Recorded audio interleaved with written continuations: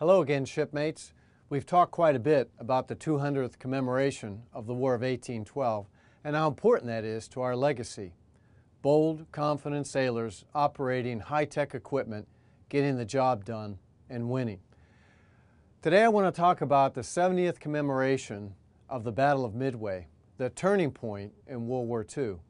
Bold, confident sailors being led by leadership who understood the information and the intelligence given them and took a chance, a calculated risk, and turned the tide in World War II.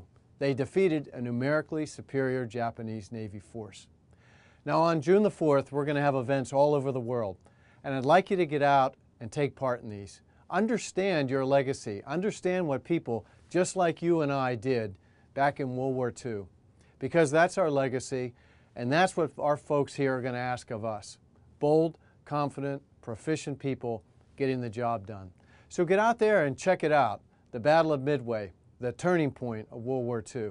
I'll see you out there in the fleet.